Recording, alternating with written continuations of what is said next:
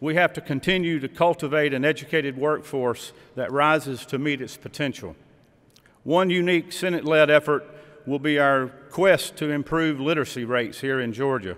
Senator Billy Hickman has become a passionate champion for this effort and will be working with Chairman Dixon of the Committee on Education and Youth to look closely at this issue. So much emphasis in recent years, and rightly so, has been put on increasing graduation rates as the benchmark for educational success. However, we need to make sure that graduation equals preparation. Having graduation and literacy rates in line with one another is a strategic imperative and it's a priority of this body.